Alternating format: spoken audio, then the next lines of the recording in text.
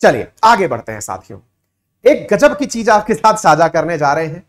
देखिए, है अंतरराष्ट्रीय खबर, लेकिन इससे भारत का इतिहास भी जुड़ा है।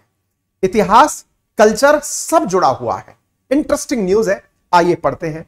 इंटरेस्टिंग खबर है, इसलिए नहीं पढ़ा रहे हैं। इसलिए पढ़ा रहे हैं क्योंकि भारत का हेरिटेज और भारत का इतिहास इस खबर से जुड़ा है। और देखिए हेरिटेज के साथ साथ करंट कैसे जुड़ता है, वो आपको इस सेशन के माध्यम से समझ में आएगा। चलिए मैं आपको अब बताता हूँ। देखो बेटा, एक न्यूज़ है, वो मैं आपको समझा रहा हूँ। न्यूज़ क्या है? कहा गई? एक यूट्यूबर है, उनका नाम है एम्मा चैम्बरलिन एम्मा चैम्बरलिन इन दिनों ट्रोल हो रही हैं यूट्यूबर हैं।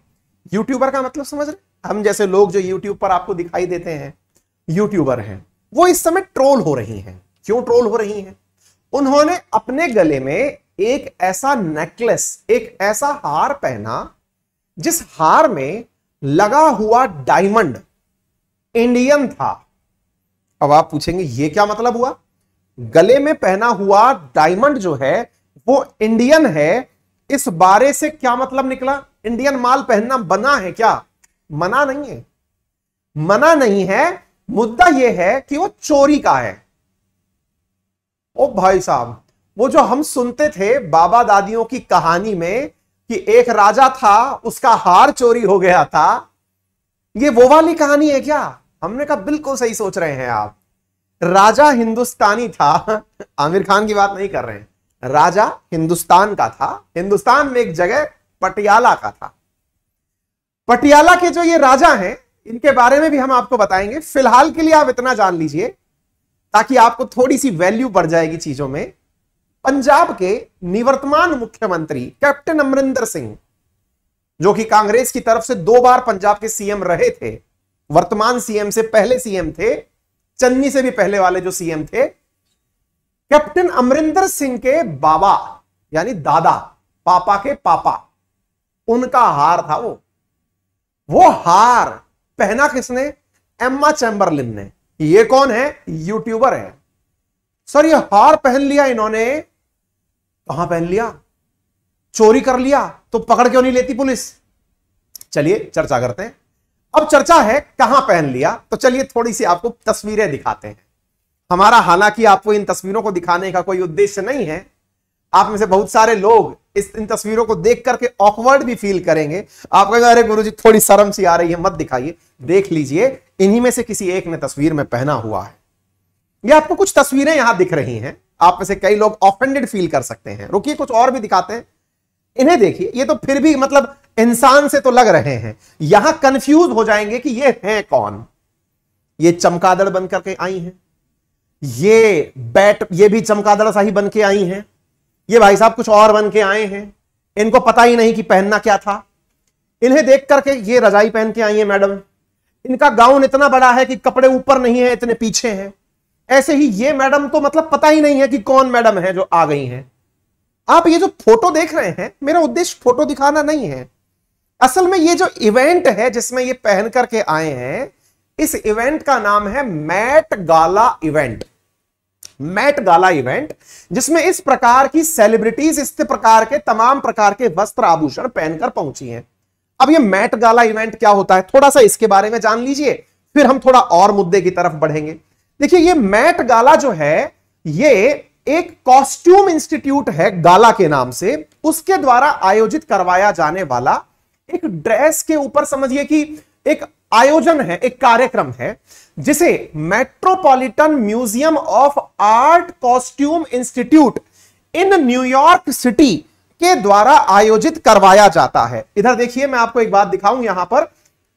किसके द्वारा आयोजित करवाया जाता है?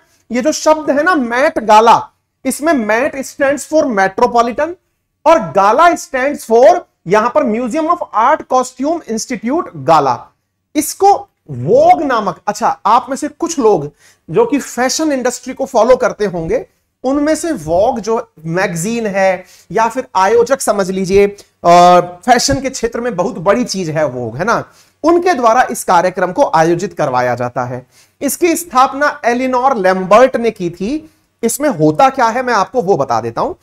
प्रतिवर्ष फ़ैशन के नाम पर कुछ इस प्रकार के अजूबे धरती के बुलाए जाते हैं।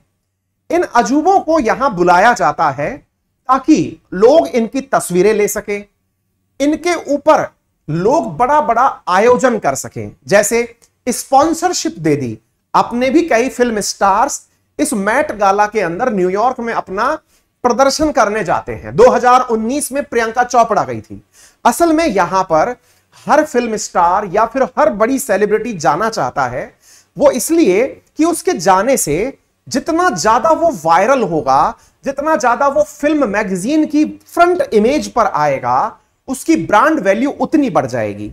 असल में मैट गाला का जो उद्देश्य है वो ये है कि यहाँ पर बड़ी मात्रा में इस प्रकार के वस्त्र पहनाए जाएँ और जितना पैसा इकट्ठा हो, उसको चैरिटी के काम में लिया जाए, यानी कि समाज के लिए दान करके काम में लिया जाए। यह किसका उद्देश्य होता है? यह उद्देश्य होता है मैट गाला के आयोजकों का। ठीक है? थोड़ा कंफ्यूजिंग है कि पहले तो करते क्या हो, और फिर पैसा आ गया, उसको चैरिटी में दे देते हो। ठीक है? चैरिटी के ऊपर कई बार आपने टूर्नामेंट भी होते देखे होंगे। तो उन्हीं क्रियाकलापों में से यह एक इवेंट है। यह मैंने इवेंट के बारे में आपको एक बेसिक सी जानकारी देने का प्रयास किया। हम क्यों ये जानकारी जान रहे हैं? हम जान रहे हैं इन यूट्यूबर के बारे में, जिनका नाम है एम्मा गैमरलिन इनका क्या कारनामा है? इनके गले में ये एक आपको हीरा दिखाई पड़ रहा है। इधर अगर आप ध्यान से देखें तो ये जो हीरा आपको यहाँ दिखाई पड़ रहा है, असल में ये भारत के, पटियाला के जो राजा थे, उनके गले में डले हुए हीरे की ही ओरिजिनल पीस है। यानी जो राजा जी के गले में था, वो इनके गले में है। अब राजा तो बचे नहीं क्योंकि कैप्टन अमरिंदर सिंह साहब के बाबा हैं ये। अब इनका तो देहावसान हो चुका। लेकिन ये यहाँ से यहाँ कैसे पहुँच गया? हाँ, हालाँकि आप कई प्रकार के यहाँ पे दावे कर सकते हैं, लेकिन उसका यहाँ कोई औचित्य नहीं है, क्योंकि इतिहास सारी बातें बताता है। पहले मैं आपको इस हीरे की खासियत बता देता हूँ, बाकी सब बातें साइड में हटा दो। अगर कैलकुलेटर हो तो कैलकुलेशन कर लेना। इस इकलौते हीरे की कीमत, ये जो दिख रहा है इसकी कीमत है 21 मिलियन डॉलर। जल्दी जल्दी कैलकुलेट कर लीजिए और कितना करोड़ बना वो मुझे बता दीजिए। प्रोवाइडेड पिछहत्तर रुपए का ही एक डॉलर रख लो तो भी कैलकुलेट करके बता दो। कितना? 21 मिलियन डॉलर। एक मिलियन में 10 लाख होता है। यानी कि दो करोड़ दस लाख डॉलर। दो करोड़ दस लाख डॉलर को पिचहत्तर से गुणा कर दो। मैं अगर सही हूँ तो 300 करोड़ रुपया उतने का यह एक हीरा है जो गले में डाला हुआ है। आपका दिमाग सन्न हो जाएगा, भाई साहब, ये क्या है? एक यूट्यूबर और उसके गले में इतना बड़ा माल, निश्चित ही चोरी का होगा। बिल्कुल। यही तो इंटरनेट की दुनिया के लोग कह रहे हैं कि इतना महँगा माल इसके गले में कैसे? तो आइए, मैं आपको थोड़ी और जानकारी देता हूँ। असल में ये जो गले में इनके माल डला है या फिर हीरा डला है ये दुनिया के टॉप टेन बड़े हीरो में से एक है। दुनिया का सातवां सबसे बड़ा हीरा है ये, डायमंड है। इसको एक कंपनी जिसका नाम है कार्टियर, उसके द्वारा प्रमोट किया गया था। यानी कि ये तो मैडम केवल एक मॉडल है। माल तो कार्टियर नाम की कंपनी का है, जिन्होंने एम्बा चैम्बरलिन को यह वाला माल पहनाया, जो कि महाराजा भूपेंद्र सिंह ऑफ़ पटियाला का था। उम्मीद है कि आप लोगों को यह बात समझ में आए। अब आपके दिमाग में एक बात और समझ में आएगी। सर, यही चीज़ पहन करके क्यों गई? क्योंकि इसकी थीम रखी गई थी और वो थीम थी Gilded Glamour and White Tie. अंग्रेज़ी जितना जानते हो उतना जान लो, लेकिन लेने देने का कोई मतलब नहीं है। मतलब यह कहा गया था कि अमेरिका के इतिहास में सोने का या फिर हीरे जवाहरात का जो इतिहास रहा है एंशियंट टाइम में जो गोल्ड पहना गया या फिर जो माइन ये स्टोन्स पहने गए, उनको याद करते हुए इसका आयोजन किया गया था। क्लियर है? इस कार्यक्रम को यहाँ पर दो तारीख को आयोजित किया गया? कॉस्ट्यूम इंस्टीट्यूट के द्वारा इसका आयोजन हुआ। फिर साहब थोड़ा आगे बढ़ते हैं। सर, ये जो आपने बताया, ये कोहिनूर जितना बड़ा है क्या? कोहिनूर तो दुनिया का नूर है। लेकिन उसके बावजूद भी यह दुनिया का सातवां सबसे बड़ा हीरा है। इस सातवें सबसे बड़े हीरे का नाम दे बियर्स डायमंड है। क्या नाम है? De Beers diamond. ये दे बियर्स डायमंड असल में भूपेंद्र सिंह साहब का था। सवाल बड़ा ये है कि ये पहुँच कैसे गया? तथ्य बताते हैं कि ये जिस गले में था, जो इस नेकलेस में था वो पटियाला नेकलेस के नाम से जाना जाता था, जो 1928 तक तो हिंदुस्तान में ही था। मेरे प्यारे साथियों, भारत जिस समय अंग्रेज़ों का पराधीन था, उस समय यह नेकलेस हिंदुस्तान में ही था, लेकिन उसके बाद यह नेकलेस चोरी हो गया। नेकलेस में केवल दाबियर नाम से डायमंड ही नहीं, इसके अलावा लगभग तीन हज़ार छोटे छोटे डायमंड प्लेटिनम पर और भी लगे हुए हैं। लेकिन वो सब अब चोरी हो चुके हैं। अब तो केवल दाबियर नाम का जो बड़ा डायमंड है, वही बचा है। मेरे प्यारे साथियों, ये पटियाला नेकलेस के नाम से असल में ये पूरा नेकलेस हुआ करता था। आप वैल्यू सोच के देखिए, करोड़ों में जो वैल्यू है, वो तो आप सोचकर देख सकते हैं, जिसकी आज कीमत 300 करोड़ से ऊपर है, केवल एक हीरे की, उसके साथ साथ तीन हज़ार छोटे मोटे हीरे और लगे हैं। प्लेटिनम पर लगा हुआ है, यानी कि ये हीरा भी अगर ये पूरी की पूरा नेकलेस भी पाकिस्तान को मिल जाए ना तो उसका कर्जा उतर जाए। आप सोच के देखो कितना बड़ा नेकलेस तो हमारे राजे रजवाड़े पहनते थे। अरे यूँ ही नहीं हम सोने की चिड़िया कहलाते थे। ये तो लुटेरों ने हमें बहुत बुरी तरह लूटा और उसके बावजूद भी आज इंडिया यूके को पीछे छोड़ करके दुनिया की टॉप फाइव जीडीपी में आके खड़ा हो गया। हल्के में मत लीजिए अपने आप को। आगे सुनिए। तो यहाँ पर मेरे प्यारे साथियों, ये जो दे बियर नाम का डायमंड था, ये मिस्टीरियसली 1960s में गायब हो गया। लोगों का कहना है कि ये सेवंथ लार्जेस्ट डायमंड है, जिसकी आज कीमत 30 बिलियन 30 मिलियन डॉलर से ऊपर है।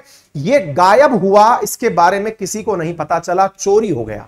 1948 में ये पटियाला रॉयल ट्रेजरी था, उसके बाद ये गायब हुआ 1948 के बाद। 32 साल बाद इसे लंदन में 1982 के अंदर देखा गया। किसी ने अपने यहाँ पर इसका ऑक्शन रखा। लंदन के अंदर यह दिखाई पड़ा, यहाँ पर इसका ऑक्शन रखा और उस ऑक्शन में कार्टियर नाम की इस कंपनी ने इस डायमंड को परचेज कर लिया। वही कार्टियर नाम की कंपनी जिसने इस पर्टिकुलर यूट्यूबर के गले में इसे डलवाया है, उसने देखा। अब आप पूछेंगे तो विवाद क्या है? अभी भी विवाद समझ नहीं आया। विवाद यही है कि जब हमने बेचा नहीं तो ये बाहर गया कैसे? और जब हमें दिख चुका है तो हमें वापस मिल क्यों नहीं रहा है?